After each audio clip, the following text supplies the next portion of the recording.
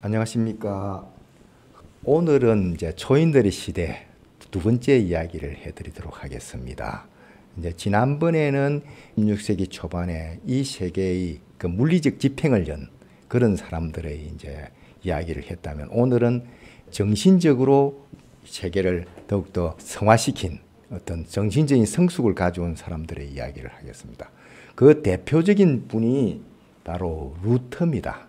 이제 루터는 신앙을 중심으로 하는 어떤 믿음을 중심으로 하는 그런 교리를 팸으로써 돈 없는 사람도 교회 가게 하다 이런 주제를 오늘 삼았습니다. 그, 그 당시가 물질 만능 시대였습니다. 특히 이탈리아가 부유했습니다. 그 동양의 상품이 지중해를 통해서 이탈리아로 오고 이걸 여기서 북유럽으로 가는 그런 상황이었어요. 베네치아, 피렌체, 제노바가 이제 부자 도시가 되는데 그 대표적으로 프란치스코 성인이 있지 않습니까? 그분의 이름이 원래 프랑스 사람이란 뜻입니다. 프란치스코가. 그건 아버지가 프랑스 사람인데 이제 이탈리아로 와서 사업을 하다가 자식을 키우고 돈을 모은 사람인데 그래서 이제 이름도 프란치스코란 이름을 줬는데 그만큼 다른 지역 사람도 이탈리아에 와서 사업을 했다는 뜻이 되겠습니다.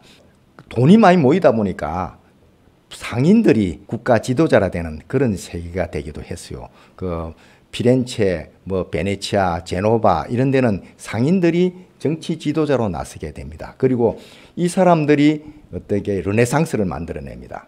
근데 아무래도 그 시대가 아무리 신분 사이지 않습니까? 귀족이 있고 왕족이 있는 시대다 보니까 상인들이 정치를 하고 있지만은 아마도 조금 열등감을 가졌던 것 같아요. 그 열등감을 이제 돈 자랑으로 먼저 해소를 했는데 그것이 피렌체 같은 데서는 이제 그 학문과 예술에 투자함으로써 극복해나는 그런 과정이었고 그것이 르네상스를 만들어냈습니다. 하지만 또 이게 물질이 지배하는 사회를 만들었다고 봐요. 또 돈이 지배하는 사회, 돈이 있으면 안 되는 것이 없는 사회도 만들어냈는데 그다 보니까 그런 사회는 각자 도생을 새겨야 됩니다. 그 도시 내부의 갈등도 많아지고 또 도시 간의 전쟁도 생기고 그래서 그 여러 가지로 이제 그 사회 문제를 많이 만들어내는데 그것이 이제 이탈리아를 굉장히 취약하게 만드는 요인도 됩니다.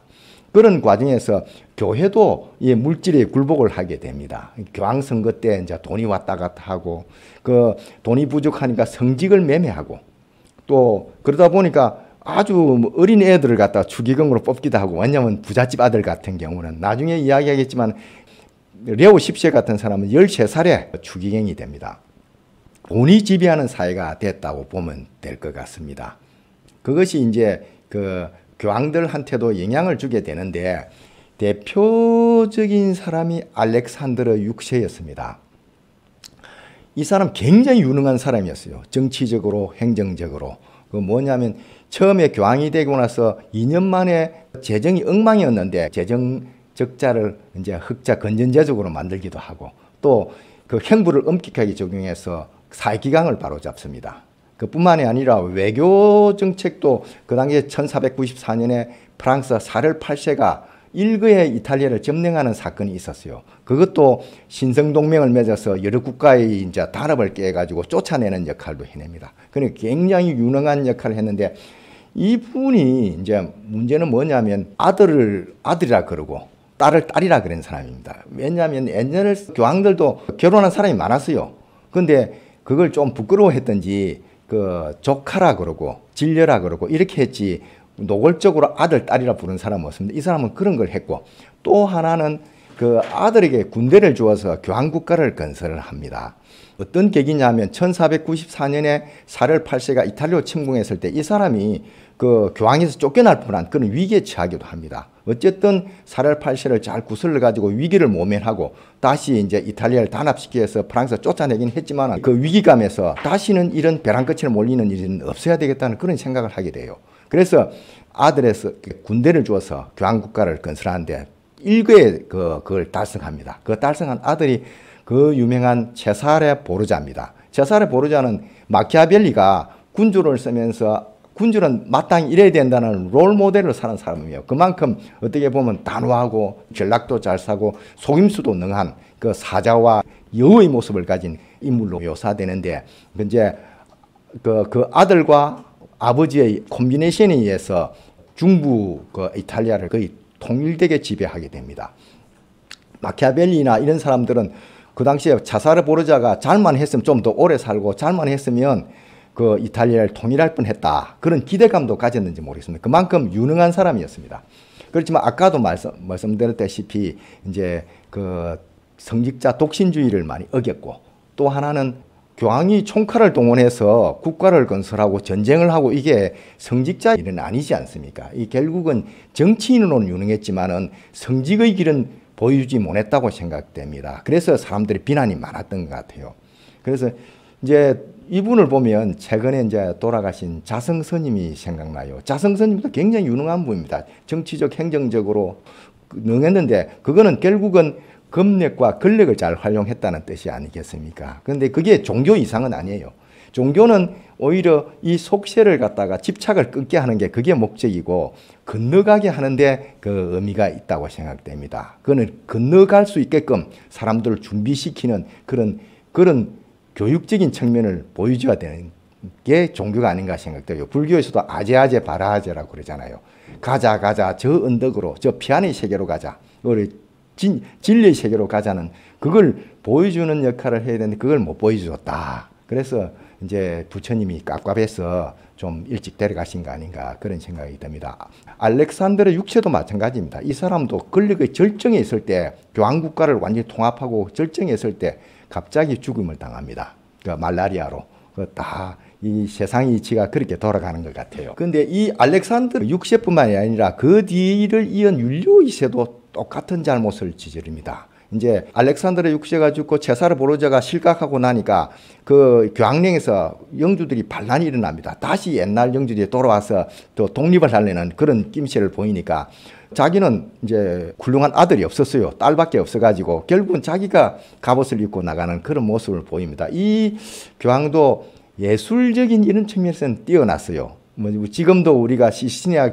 경당에 보면 천지 창조 그림을 미켈란젤로로 하여금 그리게 한 그런 교황이기도 했습니다. 그렇지만은 교황이 전쟁에 직접 나가는 이런 모습은 그 이탈리아는 모르겠지만은 저 독일이라든지 다른 나라에서는 참 의아하게 생각했고 특히 에라스무스도 비난을 많이 합니다. 그리고 그 당시에 이제 종교 개혁 당시에는 레오 10세가 이제 했는데 이 사람이 바로 아까 그 13살에 추기경이 된 사람입니다. 피렌체의 위대한 사람 로렌조 일 마치피코의 둘째 아들입니다. 그 피렌체의 전성기를 마련했던 그런 사람의 둘째 아들인데, 그러니까 부잣집 아들이죠. 또 피렌체의 이제 상황을 잘 아니까 피렌체의 르네상스를 로마로 가져와서 로마의 황금 시대를 여는 사람입니다. 하지만은 이제 이제 이, 이 사람은 그 씀씀이가 너무 커서 돈에 항상 궁색하게 됐어요. 뭐 그 큰 원인은 이 사람이 돈 쓴 것도 문제지만 전쟁이 많았던 것 같습니다. 수많은 전쟁을 했는데 2015년에 프랑스와의 마라냐로 전투도 있었고 2021년에 프랑스 스페인 전쟁에도 스페인이 편을 듭니다. 그, 거기도 관여했고 또 내부적으로는 우르비노 공장령에서 반란이 있었는데 그걸 진압하느라고 진압하고 자기 조카를 그 공작을 만들기 위해서 한 8개월 이상 전쟁을 합니다. 그런데 돈이 엄청나게 들어가게 돼요. 거기다가 그 이 사람은 씀씀이 커서 잔치를 한번 열었다면 한 300명을 초청하고 또 이분이 그 학문과 예술에 대해서 엄청나게 그 지원을 했는데 라파엘로라든지 이런 그 뛰어난 그 어떤 예술가를 갖다가 지원을 많이 하게 됩니다. 또 그 사냥을 좋아했는데 그 사냥터에 가면 농민들이 많은 사람 기다리고 있어요. 그리고 반겼다고 그럽니다. 그래서 선물을 들고 기다리는데 그 레오 10세는 그 선물 받은 거에 한몇 배로 보상을 하니까 모두들 그 이제 선물을 주기 위해서 줄을 서 있다는 그런 거그 일화가 있습니다. 그런데 전쟁에서 돈이 많이 들어갔고 또 하나가 그 성베드로 성당 건립입니다. 이 성베드로 성당 건립에 대해서는 좀 억울한 면도 있어요. 이제 이 옛날에 구성당이 있었습니다. 이 천년의 역사를 가진 건데 이제 500년부터 거의 1500년까지 이제 그 존속했던 성당이 있었는데 물론 그 당시엔 천년이 됐으니까 엄청 낡았을 거 아닙니까? 그리고 위험하기도 하고. 그래서 니콜라오 오셰라는 한 50년 전에 그 교황은 이걸 그 수선을 하려고 했어요. 수선을 하다가 일찍 죽는 바람에 이제 뜻을 이루지는 못했는데 그걸 이제 윤리고 있을 때 이걸 수선을 다시 해야 되겠다 이런 생각을 가졌어요. 가지기는 가졌는데 그 밑에 있던 그 건, 유명한 건축가입니다. 브라만테라는 사람인데 이걸 뭐 수선하는 게 돈이 더 들 수 있습니다. 또 위험합니다. 그 또 수선해봤자 얼마 못 씁니다. 그 새로 짓는 게 낫습니다. 이런 주장을 해요. 그래서 그 오래된 이제 성당을 무너버렸는데 그러다 보니까 사람들 아쉬움이 많아요. 여기 뭐 콘스탄티누스 대제라니 오토 대제라니 샤를마뉴 대제 이런 사람이 대관식을 한다는데 그, 그 사람의 채취와 역사가 묻어 있는 이걸 무너버리니까 아쉬움이 많은 그런 것도 굉장히 불만으로 나타났지 않나 생각됩니다. 그게 이제 그 브라만테라는 사람 이야기에서 나오는데 브라만테가 죽고 나서 천국을 가게 됩니다. 근데 천국 문 앞에서 베드로한테 저지를 당해요.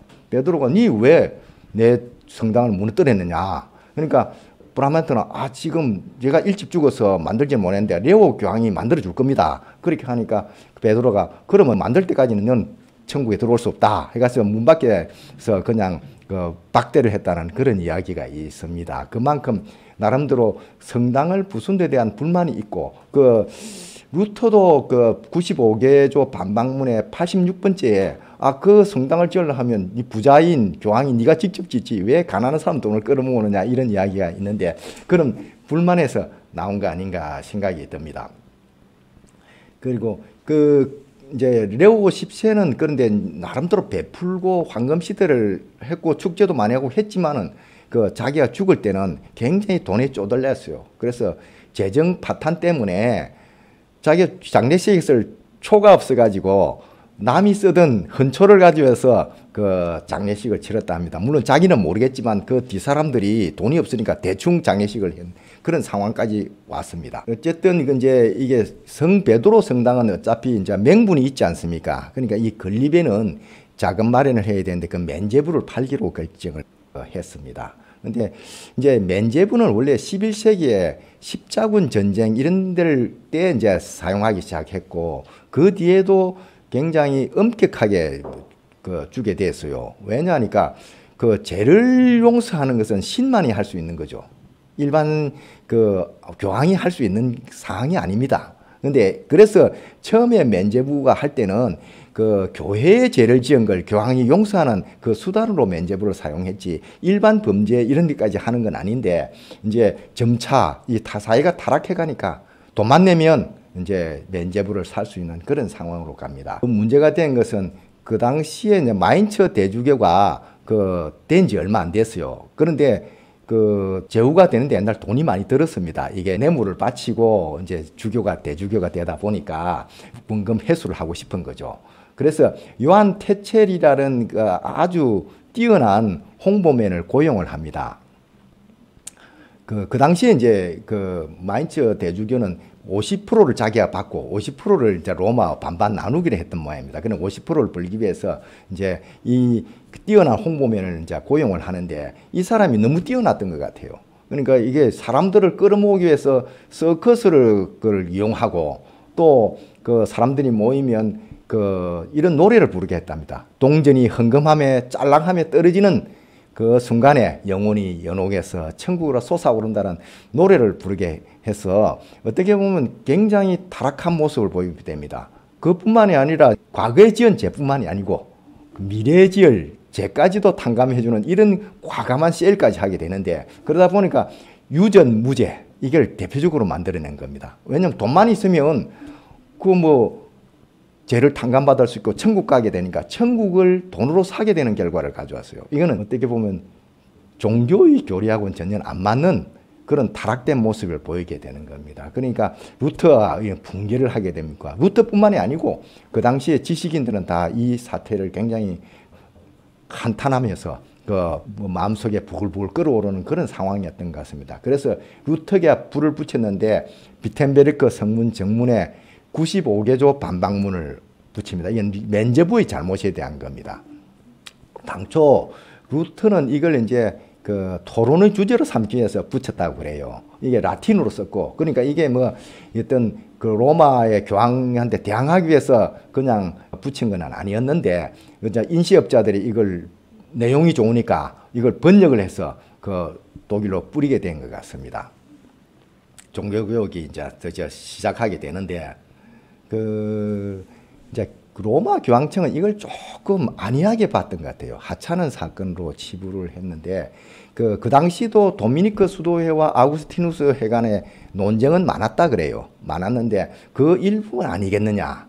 그리고 그 루트를 좀 무식한 사람, 그 주님의 포도밭을 파헤치는 멧돼지 이런 식으로 표현도 하고 또 독일인들이 많이 동조를 하고 반발을 하지만 이건 이탈리아에 대한 열등감 아닐까? 우리가 부유하고 우리가 잘났고 이런 데 대한 그 열등감 이런 게 표현된 거다. 이런 게 안이하게 생각을 했습니다. 그리고 그 루트의 교리가 말도 안 되는 소리다. 아까 말했지만 무식하게 생각한 게 선행을 경시하는 그런 교리를 내세워요. 이제 그 오직 신앙으로 이런 걸 내세우는데 그거는 면제부를 갖다가 사지 못하도록 하는 그런 그 독일 민중을 선동하는 그런 이야기가 아니겠느냐 하는 주장을 그 세장각을 하게 됩니다. 그리고 자기들은 어, 우리가 오랫동안 천년의 역사를 그 가톨릭 역사를 돌이켜서 믿음과 선행이 다 중요한 거 다 아는 사실이다.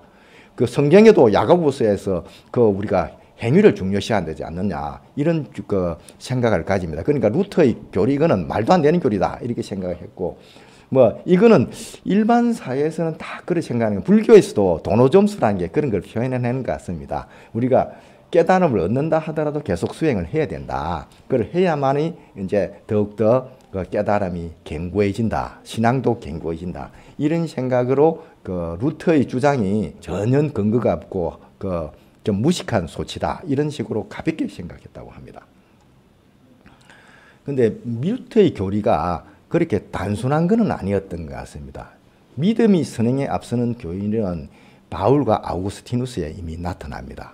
그 바울은 그 당시에 그리스 세계에 전도를 하면서 행위에 대해서 보다는 믿음을 더 중시하게 됩니다. 왜냐하면 행위를 중시하게 되면 유대교의 어떤 율법이라는 이런 걸 지켜야 할례를 했느냐 안 했느냐 이런 게 더 중요해지 버리니까 신앙을 통해서 믿음을 통해서 예수 그리스도에 다가갈 수 있다는 이런 사상을 강조하고 아우구스티누스는 아시다시피 인간이 굉장히 타락해 있는 그런 상황이기 때문에 인간이 신의 은총이 없이는 바른 길로 갈 수 없다는 그런 생각을 합니다. 그렇기 때문에 인간의 행위 자체보다도 믿음과 신에 대한 믿음과 그리고 은총 이걸 더 중요시하는 교리를 내세우는데 그런 사상을 이어받는 나름대로 전통 있는 사상이었어요. 이제 불교에서도 이게 이런 사상은 도노돈수란 사상으로 나타나요. 왜냐하면 깨달을 제대로 깨달으면 수양이 필요 없다는 거예요. 행위 자체가 의미가 없다. 깨달은 사람은 행위 자체가 저절로 법, 법치에 맞는다. 그 우리가 이제 유교도 있지 않습니까? 그 70이 되니까 공자님이 종심 소욕 불육을 하고 자기 마음 먹은 대로 하더라도 결코 법도에 어긋남이 없었다 이런 이야기가 있는데 그런 그 사상이 뉴터의 사상이라 보면 될 것 같습니다. 이게 이제 화엄경 불교의 화엄경 현수품에도 믿음에 대한 글이 있습니다. 이게 이제 그 문수 보살의 질문에 대해서 현수 보살이 답변한 내용인데 참 좋은 내용에서 제가 여러분께 같이 공유하고자 합니다. 그 신이 도운 공덕모 장량 일체 제선법. 그 믿음이라는 것이 도의 근본이고 공덕의 어머니다. 그리고 이, 게 모든 훌륭한 좋은 법을 만드는 데는 원천이다. 이런 내용입니다. 이게 좀더 그 현수 더 나가면 없지만은 그 단제 음악 출혈류 그 개시열만 무상도 이런 게 있습니다. 이게 모든 음악을 끊고 또 애욕에서 벗어나서 그 열반의 길을 열어 보인다. 진리 세계를 열어 보인 천국을 보인다. 이런 내용이다. 믿음을 통해서 천국에 갈 수 있다. 이런 내용을 말을 합니다. 그리고 불교에서도 선행을 강조하면 물질에 경도될 이런 우려를 굉장히 많이 했어요. 그래서 금강경에 보면 겐지스 강의 모리알보다 많은 보시를 해도 금강경 사구계를 수지독성하고 다른 사람에게 설하니만 못하다 이런 겁니다. 이게 이제 물질적인 보시보다도 정신적인 보시 그리고 정신적인 믿음 이게 더 중요하다는 걸 암시하고 있는 구절이라 하겠습니다. 그러니까 그 어떻게 보면 그 레오 10세라든지 로마 교황청이 너무 루터를 경시해서 루터의 사상이 굉장히 뿌리 깊은 연원을 가진 건데 너무 얕게 봤다 이런 생각이 듭니다. 루터는 자기 교리에 대해서 확신을 가졌습니다. 그래서 교황청과 카를 5세가 루터를 오게 합니다. 루터의 이제 이게 종교개혁을 끝내기 위해서 루터가 철회하면 종교개혁 끝나지 않습니까? 그래서 루터를 불러서 네 철회하라 이렇게 이제 요청을 요구를 합니다. 근데 루터는 하루의 말미를 얻어가지고 다음 다음 날 이제 카를로스 앞에 가서 자, 절대로 나는 철회할 수 없다는 그런 이야기를 합니다. 그 내용을 한번 읽어드리면 내 양심은 하느님 말씀에 사로잡혀 있습니다. 나는 아무것도 철회할 수 없고 철회할 생각도 없습니다. 왜냐하면 양심에 반해서 행동하는 것은 위험하며 현명한 일이 아니기 때문입니다. 하느님 이 몸을 도우소서 아멘 하는 놈입니다. 루터의 목숨을 걸고 한 발언입니다. 그, 이 발언을 하고 나서 그 죽을 수도 있었습니다. 그 이제 루터 발언 장면입니다만은 예전에 루터의 100년 전에 얀 후스란 사람이 이제 그 당시에 종교개혁을 그 추진하던 사람, 보헤미아에서 종교개혁을 추진하던 사람인데 그 사람도 이제 그때 항상 콘스탄 처 공의에 와서 사실은 그 정언을 하게 되는데 결국은 죽임을 당합니다. 그, 그 당시에 그 교회가 속였어요. 오면 그 안전 통행권을 줬는데 그럼에도 불구하고 이 사람을 화행을 시키는데 루터도 그럴 가능성이 있었습니다. 그럼에도 불구하고 그 루터의 경우에는 그 살아남게 되는데 그 당시에 작센 선제후가 이 사람을 빼돌립니다. 빼돌리기 위해서 바르트부르크 성에서 한 8개월간 숨겨둡니다. 그 결과 그 카를 오시가 이제 나중에 후속 조 교회나 후속 조치를 못 합니다. 그 제후가 돕고 있었으니까. 그래서 루트는 살아서 계속 그 종교 계획을 추진해 나갈 수 있었습니다. 이제 루트의 성공 요인은 아까 뭐 작전 선조 이야기도 했지만은 이제 인쇄술의 발전이 큰 역할을 했던 것 같아요. 아까 그 루터의 사상이 굉장히 쉽게 그 퍼져 나감으로써 많은 민중의 동조를 얻어낼 수 있고 그, 그 힘이 루터를 계속 그 살아남고 개혁을 추진할 수 있는 원동력이 됩니다.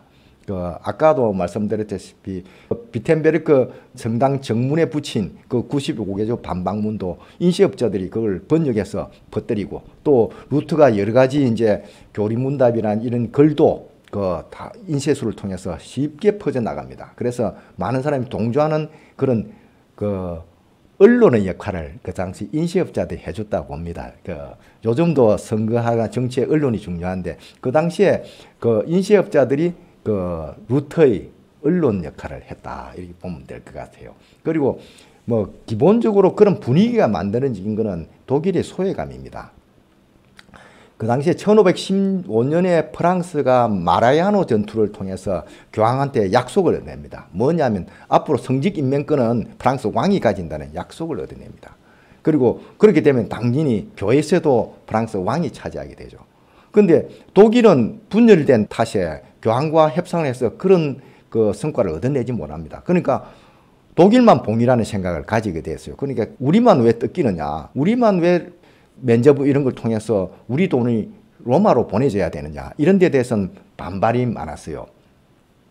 그래서 제후들이 생각에는 아 루트를 따라가면 우리가 교회실을 우리가 장악할 수도 있고 우리가 그 성직 인명권도 가질 수 있는 거 아니냐 이런 생각을 가지게 됐어요. 그래서 아마 그런 이해관계가 딱 아구가 맞아 들어갔던 것 같습니다. 그리고 또 하나는 루트의 교리가 그 종교적 어떻게 민주주의를 가져왔다고 생각합니다. 이게 특히 돈이 들지 않는 교리였어요. 오직 믿음으로 믿음만 가지면 되지 면제부 이런 거 안 사더라도 성당 가서 뭐 시주를 안 하더라도 그 천국에 갈 수 있다는 그런 교리를 열었습니다. 그러니까 가난한 사람도 천국 갈 수 있는 거죠. 내가 믿음만 철저히 하면 천국에 갈 수 있게 되니까. 어떤 종교 민주주의를 만들어냈는데 그 루터 자신도 이런 걸 만들어냅니다. 독일의 성경 아주 이게 일반 농민도 읽을 수 있는 구어체로 된 또 독일의 성경을 만들어내고 성경 접근권을 확산하는데 그 당시에 그 독일 가정에 루터 시대에 그 다섯 가정 중에 한 가정은 성경을 가지고 있었다 그럽니다. 근데 성경이 싸지를 않았어요. 그 일반 교사들 두 달치 월급이었고 그게 그 송아지 한, 그 당시 송아지 한 마리 가격이었다 그럽니다. 그러니까 그 싼 가격은 아니었어요. 그럼에도 불구하고 다섯 가정 중에 한 가정이 그 성경을 가질 정도로 확산이 많이 됐다. 그러니까 이게 그 개신교가 그만큼 확산이 된 거죠. 루터의 사상이 확산이 되는 그, 그 그런 노력을 루터가 계속 했습니다. 그리고 구호가 굉장히 간명했어요. 오직 성경, 뭐 교회 안 가도 오직 성경, 그리고 오직 믿음, 그리고 오직 은총. 이런 간단한 구호를 통해서 일반인이 쉽게 알아들을 수 있어요. 그리고 그 성경 읽고, 그리고 믿음을 가지고 예수를 믿고, 그러면 은총을 받을 수 있다는 이런 생각을 가지니까 아주 감명했던 것 같아요. 그리고 많은 사람들이 좋아할 수밖에 없는 그런 상황이었던 것 같습니다. 그리고 또 하나는 만인 사제설인데 뭐 성직자 계급이 따로 있는 게 아니다. 우리 모두가 사제가 될 수 있다. 우리 모두가 하느님과 그 직통으로 소통할 수 있는 사람들이다. 우리가 그 성경을 읽고 우리가 철저한 믿음을 가지면 누구나 하느님과 직접 소통, 예수님과 소통할 수 있는 그런 사람이다. 그러니까 얼마나 사람들이 많이 자긍심을 가지겠어요. 그리고 이걸 통해서 또 그 천국도 가고. 그러니까 그 일반 사람들의 어떤 그 지지를 많이 받아낼 수 있는 그런 그 교리를 내세웠습니다. 그뿐만 아니라 그 성직자를 선치로 고 해임할 권한도 줍니다. 뭐 성직자가 로마 교황이 임명하는 게 아니고 그 하면서 돈 받아먹고 이런 게 아니고 우리가 선출하고 또 해임할 수 있어야 된다. 우리가 다 사제기 때문에 우리 중에 더 잘하는 사람이 앞에 가서 교, 그 어떤 그 예배를 지도하고 또 이 사람이 잘하면 계속 두겠지만 못하면 또 다른 사람을 가르치고 이렇게 할 수 있는 능력이 우리한테 있고 그 그것이 타당하다 이런 주장을 합니다. 이게 이제 또 엄청난 그 어떤 성운을 받게 되는 그런 결과가 됩니다. 또 성직자 결혼을 허용했습니다. 그 당시에 사실은 성직자들이 그 사실상 결혼한 사람이 많았어요. 그래서 그 굉장히 위선적인 행동을 할 수밖에 없는데 아까 이제 알렉산드르 6세는 아들 아들을 그랬지만 많은 사람이 조카라 그랬다 그렇지 않았습니까? 그만큼 어떻게 보면 위선적인 행동을 하고 있었는데 위선에 벗어날 수 있는 길을 제공했다 생각이 듭니다. 이제 루트의 결혼관을 좀 더 알아보면 루트는 결혼이 종교개혁의 일환이라 생각했어요. 왜냐하면 이제 신이 창조한 질서를 지키는 게 결혼이고 애를 낳는 거다.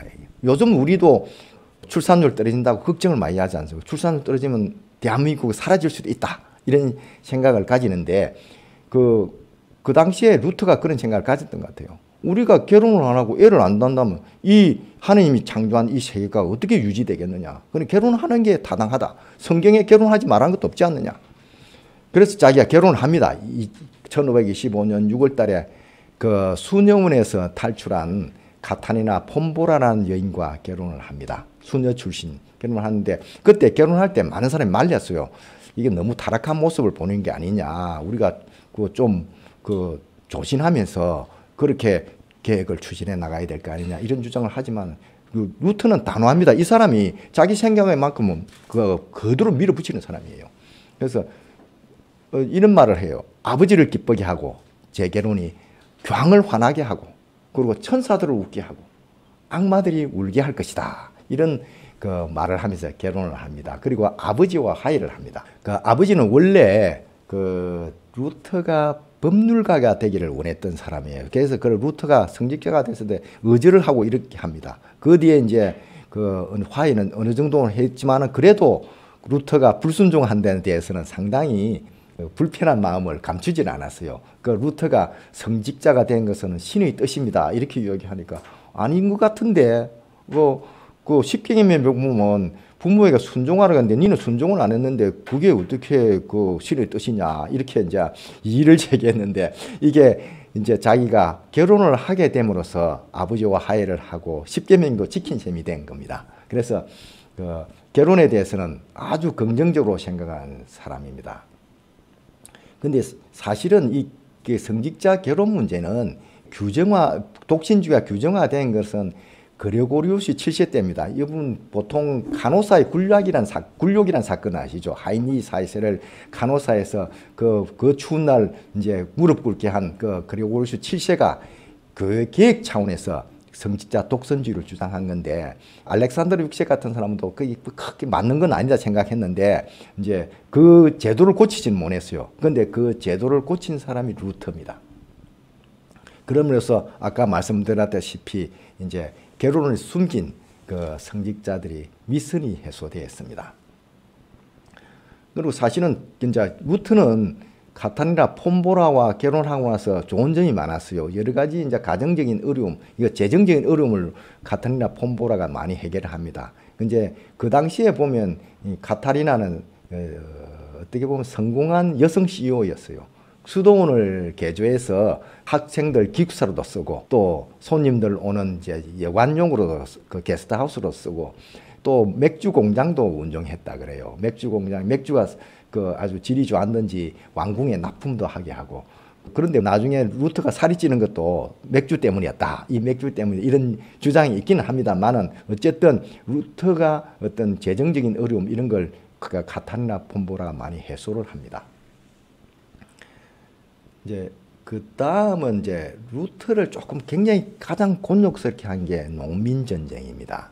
이제 이제 농민들은 아무래도 더 과격해지는 경향이 있어요. 왜냐하면 그 열악한 처에 있는 사람은 당장에 이 열악한 환경을 벗어나고 싶기 때문에 세상을 뒤집어 엎고 싶은 그런 생각이 항상 있게 있다고 봐야 됩니다. 그런데 루터가 만인 사제장 그 제사장주의를 하니까 이게 만민평등으로 그 바로 이해를 했습니다. 모두가 똑같은 제사장이니까 모두가 평등한 거 아니냐. 그러면 우리가 그 이 이 세상에 그 굉장히 불이하게 보이는 그런 제도도 개혁해야 된다 이런 생각을 가지고 그 과도한 세금이라니 소장로 폐지 그리고 이런 걸 이제 그 포함한 사회 계획을 이 농민들이 주장하게 됩니다.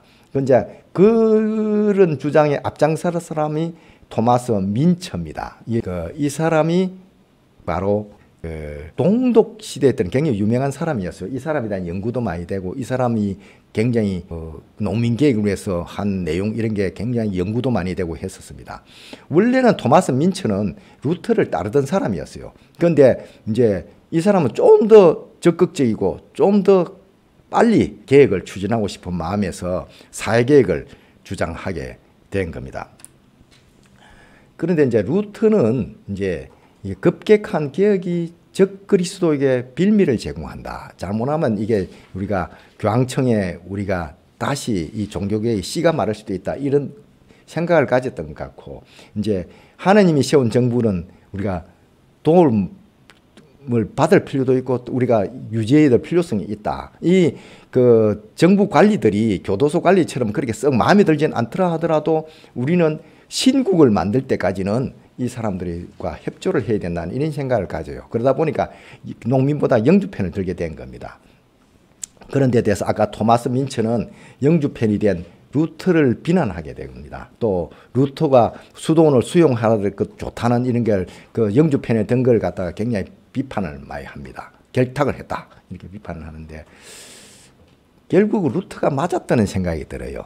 그, 그 영주들의 지지로 종교 개혁이 지속이 되지 않습니까? 그 아까도 말씀드렸다시피 보름서 그 신문 후에도 작센 선제후의 보호에 있어 살아남습니다. 그리고 자기가 독일의 성경도 쓰고 이런 게그 선제후들이 도움으로 가능했고 또 그 카를 오셰가 가톨릭을 강요하기 위해서 쳐들어왔을 때 수말 칼된 동맹을 맺어서 카를 오셰를 저지한 것도 제후들입니다. 물론 그 이제 첫 번째 전대에서는 전투에서는 졌지만은 다시 이제 카로스를 쫓아낸 것도 그 선제후들에게 제후들의 역할이었어요. 그러니까 이 사람들의 협조가 없어서는 종교개혁은 불가능했다고 봐야 됩니다.